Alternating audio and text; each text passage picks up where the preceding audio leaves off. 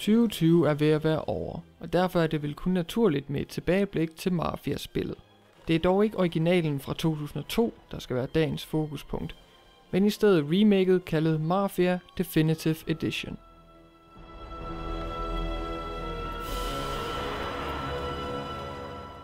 Jeg har hørt mange rosende ord om det originale Mafia-spil. Komplimenterne er typisk rettet mod spillets historiefortælling og realistiske portrættering af et New York-inspireret miljø i 1930'erne. Nu står jeg så i den underlige situation, hvor jeg skal anmelde et remake af et gammelt spil, som jeg ikke har spillet før. Det giver jo god mening for udvikleren Hangar 13 at genskabe Mafia fra bunden, så det kan stå side om side med de remasterede udgaver af Mafia 2 og 3. Med det sagt, så er Mafia Definitive Edition en underlig størrelse. Dette er stadig den samme klassiske fortælling om taxachaufføren Tommy, som bliver forført af ideen om livet i mafiaen efter en aften, hvor tilfældighedernes spil ledte ham til mafiabossen Don Salieri. Welcome to the family. Man behøver dog kun at kigge lidt på videoklip fra det originale Mafia-spil, for at se den overordnede fortælling er den samme, men der er kreative ændringer til stede i dette remake. Nye filmsekvenser, nye motion capture skuespillere og et nyt manuskript. Alt dette er selvfølgelig baseret på originalen, som de har brugt som en skabelon, men der er tilpas mange ændringer til, at man ikke helt kan kalde det en en-til-en genskabelse. Narrativet i Mafia Definitive Edition er alfa og omega. Medmindre du spiller freeride, så bliver du smidt ind i den næste historiesekvens, lige så snart du er færdig med den sidste. Byen Lost Heaven bliver derfor en kulisse for historien, frem for en sandkasse, hvor spilleren kan skabe deres egne små historier og eventyr.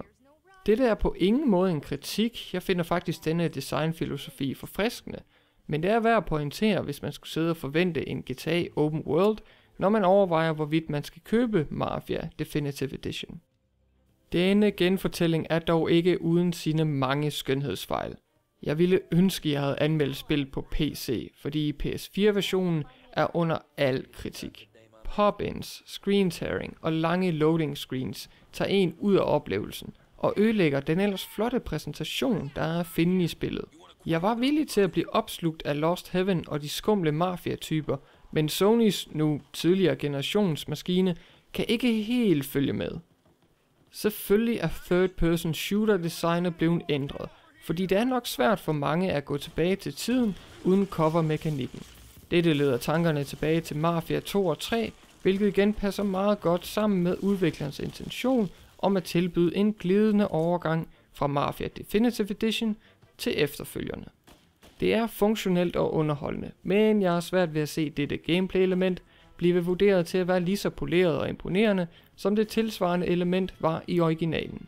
Det føles ofte lidt for kluntet og akavet grundet tjusket animationsarbejde. En stor skam, når selve leveldesignet og missionernes opbygning er af en utrolig høj kaliber. You can't have it all, I guess. Heldigvis er den berygtede racerbane mission langt nemmere her i remaket.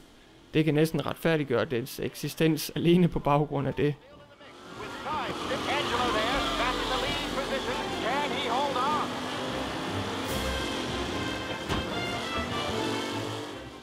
Til trods for navnet, så er der ikke noget definitivt over dette remake af Mafia-spillet. Jeg har uden tvivl fået interesse i at spille igennem alle Mafia-spillene, da de tilbyder en anderledes oplevelse fra de mange GTA-spil, men jeg er splittet omkring dette remake. Dette er ikke en forbedring på alle punkter, men blot en ny måde at opleve det originale Mafia-spil på. Der er beklageligvis et par elementer, som føles halvfærdige, og min oplevelse med PS4-versionen trækker desværre også karakteren ned. Hvis man gerne vil følge den fængslende historie om Tommys rejse fra en nobody til en mafia goon, så er Mafia Definitive Edition et kig værd men så skal det nok ikke lige foregå på PS4'en.